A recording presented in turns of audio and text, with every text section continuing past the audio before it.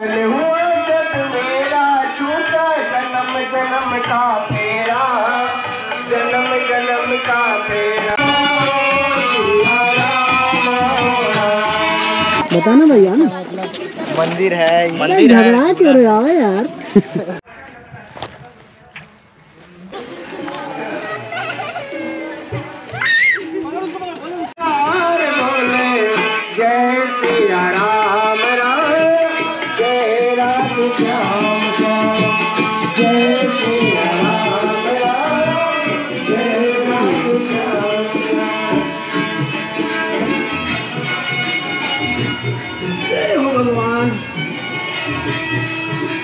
मंदिर के आसपास ये जो उसका प्रांगण है उसमें बहुत सारी और भी मंदिर हैं।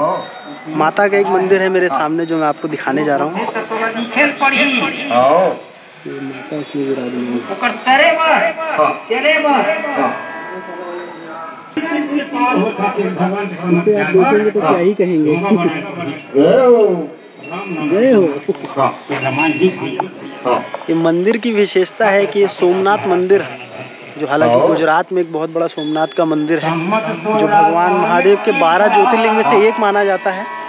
उसी की तर्ज पे इसको बनाया गया है सोमनाथ। ये रायपुर से करीब 40 किलोमीटर दूरी पे पड़ता है। सिमगा एक जगह पड़ती है रायपुर से जब आप बिलासपुर हाईवे पे जाएँगे वहाँ से लेफ़्ट टर्न करेंगे चार साढ़े चार किलोमीटर पे तब आपको ये सोमनाथ जगह पड़ती है। ये महादेव का मंदिर है। आप यकीन जानिए इतनी भीड़ है इस समय हालाँकि आज सोमवार भी है और जब ये हाल अभी ये नॉर्मल सोमवार में है। तो जो सावन का सोमवार होता होगा तो उसमें सोचिए कितनी भीड़ होती होगी। तो कुछ इस तरीके के हैं हमारे महादेव। जहाँ पे भी जाते हैं अपना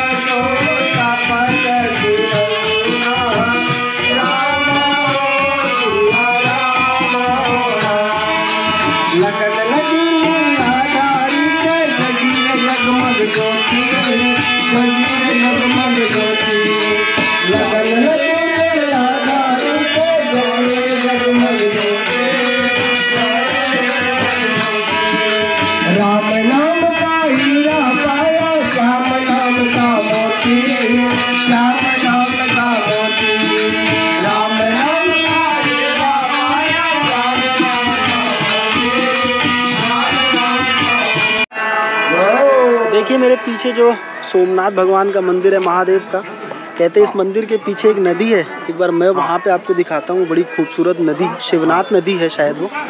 और इस मंदिर के आसपास बहुत सारी जगह और भी हैं। कई लोग यहाँ पिकनिक मनाने भी अभी आने लगे हैं महादेव के इस मंदिर के पास। वो भी मैं आपको आगे दिखाता हूँ। सामने देखिए। क्योंकि मैंने बताया था इस मंदिर के पीछे दो नदियाँ हैं। जो छत्तीसगढ़ की खारून और शिवनाथ नदी काफ़ी फ़ेमस है, वो इस मंदिर के जस्ट पीछे की तरफ़ बहती है। मैं आपको उस मंदिर के पीछे की नदियों को तरफ़ लेके जाता हूँ और बड़ा खूबसूरत जगह है ये। छोटा ही सा जंगल टाइप का है बट चारों तरफ़ हरियाली है। जैसा आप मेरे पीछे ये पूरा बैकग्राउंड देखिए, देख पा रहे हैं।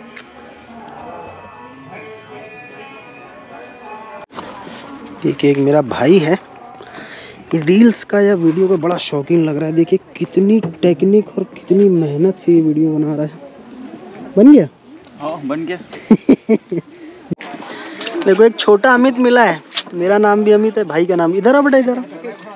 क्या नाम है अमित? क्या करते हो? डोंगा घुमाते हैं। ये डोंगा घुमाते हो?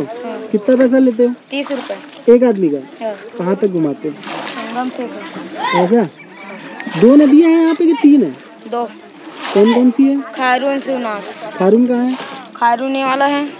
अच्छा जो इधर से आ रही है। और शिवनाथ उधर से? हाँ, कितने लोग लेके जाते हो एक बार में? पंद्रह।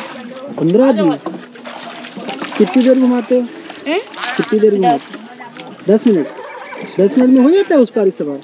दस मिनट एक राउंड अमित झूठ बोलता है? नहीं दस मिनट लगता है भाई। कहाँ दस मिनट? हम दो मिनट की वीडियो बना नहीं पाए इधर आ भाई मेरा नाम मत खराब कर मेरा नाम भी अमित है नाम भाई। खराब नहीं करा था भाई जितना मिनट घुमाता है ना उतना मिनट लगा मेरा नाम अमित है नाम को खराब मत चलो कोई नहीं।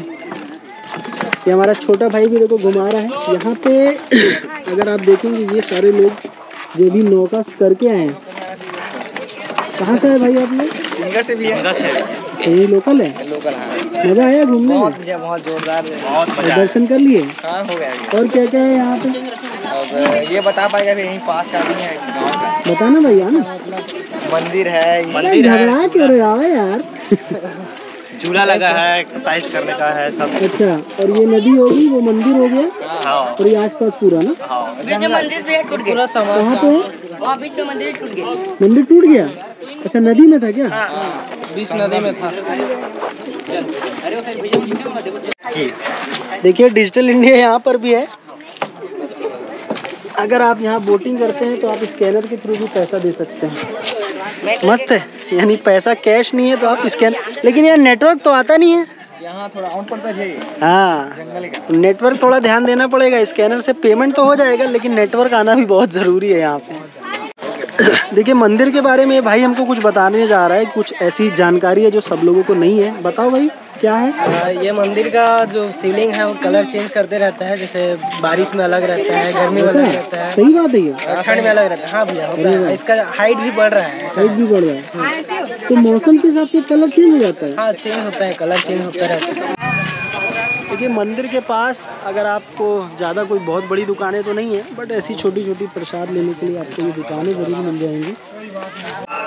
दोस्तों, सोमनाथ मंदिर के पास में आपको बहुत सारे और मंदिर और मिलेंगे, जो अलग अलग समाज से रिलेटेड हैं, यानी कि समाज वालों के जो मंदिर होते हैं अक्सर, वो आपको मिलेंगे। आप चाहें तो उसे भी देख सकते हैं यहाँ पे। देखिए वो सामने एक कुम्हार समाज का मंदिर है। ये एक काफ़ी विशाल और खूबसूरत मंदिर मुझे दिख रहा है। और आसपास देखिए कई कई सारे मंदिर हैं। वो यादव समाज का मंदिर है। जय यादव, जय माधव लिखा है। तो कई और भी मंदिर रहते हैं। अब ये मंदिर एक बार मैं चल के देखता हूँ।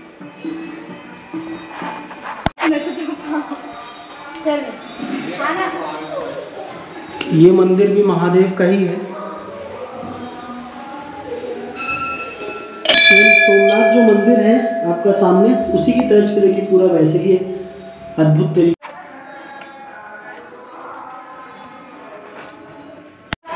देखिए, जैसा मैंने बताया था कि यहाँ पे अलग अलग समाज के भी मंदिर हैं आपको, अगर आप सोमनाथ आएँगे। और मेरे पीछे ये जो आप देख पा रहे हैं, जो मैं जिसके बारे में भी आपको बता भी रहा हूँ, ये है निषाद समाज का मंदिर। निषाद समाज के बारे में हम सभी जानते हैं।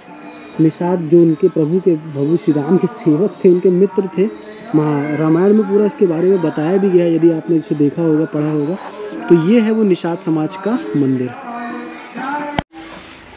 देखिए, ये साहू समाज का मंदिर है। अलग अलग समाज के हिसाब से यहाँ पे, उन्होंने अपने अपने समाज के हिसाब से यहाँ पे जो मंदिर बने हैं, उसी में से एक है ये साहू समाज का मंदिर।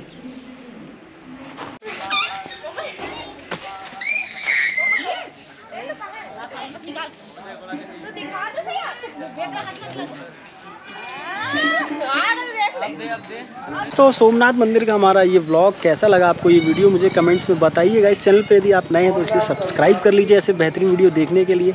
और बने रहिए मेरे साथ और इसी तरीके से घूमते रहिए सारा इंडिया